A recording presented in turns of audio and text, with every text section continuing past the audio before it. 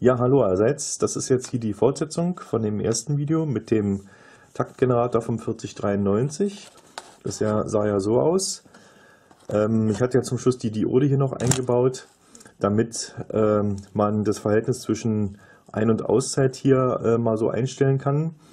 Ähm, ich hatte dann noch gesagt, ich will es etwas flexibel gestalten und habe das hier mal aufgebaut. Man sieht hier also die Schaltung. Ich habe da noch zusätzlichen Poti jetzt eingebaut und ich demonstriere das mal ganz kurz. Also jetzt ist das Poti in der Mittelstellung und die Leuchtdiode blinkt sehr gleichmäßig. Das heißt, die Ein- und Auszeit ist praktisch gleich. Und wenn ich jetzt hier nach links drehe, sieht man, die Leuchtdiode geht nur kurz aus. Die T1, diese Zeit T1 ist sehr lang. Und wenn ich jetzt hier zur anderen Seite drehe, sieht man, dass diese Einzeit nur sehr kurz ist. Es entsteht dieses Blitzen. Gut, jetzt äh, die Frage, wie die Schaltung funktioniert, beziehungsweise was ich eigentlich geändert habe. Ich lege das mal hier beiseite und gehe einfach mal hier in die Schaltung.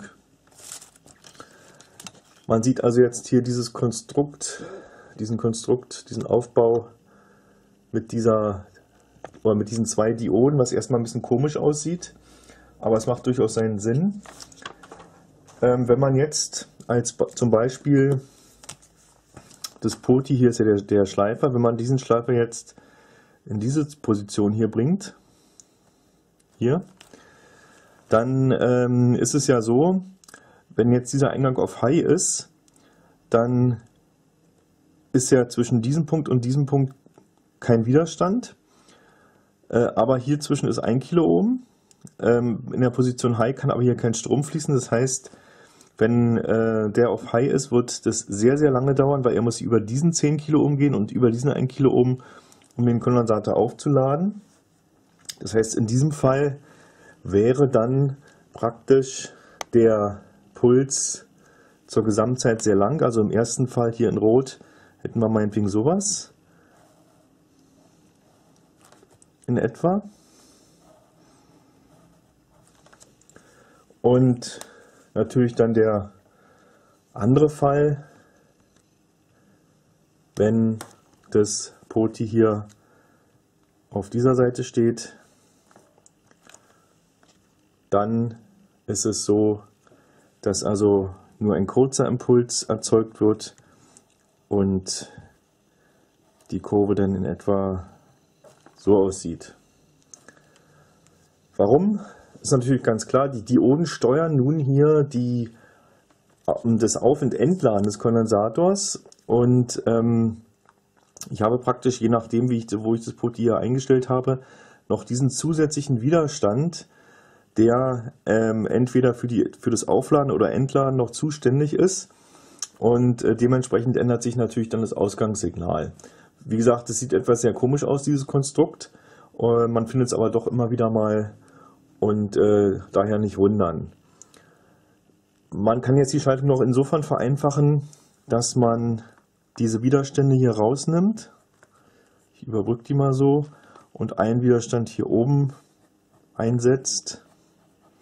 Ja, ähm, da spart man einen Widerstand, hat aber den gleichen Effekt. So, ich habe hier mal die Schaltung geändert und zwar habe ich folgendes gemacht. Ich habe hier den Kondensator, der zusammen mit dem Poti und den Widerständen zeitbestimmt ist oder bestimmt für die Frequenz ist, geändert. Ich habe den verkleinert, das heißt die Frequenz wird höher und habe hier mal die Schaltung äh, äh, dahingehend angepasst. Und äh, wenn ich jetzt die, diese einschalte, dann sieht man, die Leuchtdiode leuchtet. Jetzt könnte man denken, die Schaltung ist kaputt. Ist er aber nicht.